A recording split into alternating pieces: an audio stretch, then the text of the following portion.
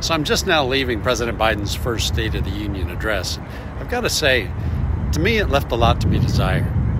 While President Biden acknowledged the inflationary crisis and the current attack on Ukraine by Russia, to me, he failed to provide any real solutions or, or recognize that serious policy reversals have got to be made if we're going to overcome these crises.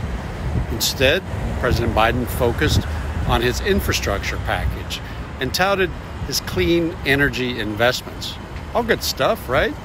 But Americans right now are struggling to pay to heat their homes, to, to fill their tanks, or to put food on their tables. No mention of anything of those those issues.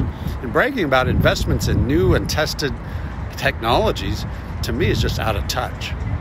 Americans across the country, including 85% of central Washingtonians who participated in my flash poll, believe the State of the Union is worse off under Pre- President Biden's leadership. And thanks to his rhetoric, he has only divided our country further. While none of this is good news, I think there is a silver lining here. Republicans in Congress are poised to take back the majority, and we do have real solutions for every one of these problems. And we, when we do take back the majority, we're ready to deliver them to the American people. That's what I'm looking forward to, and I hope you are too. Thank you very much.